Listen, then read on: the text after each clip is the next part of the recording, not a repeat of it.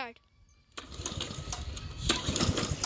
No, it's not working, right? Yeah. So what we're gonna do is we need plier and we need this tool. This is magical tool.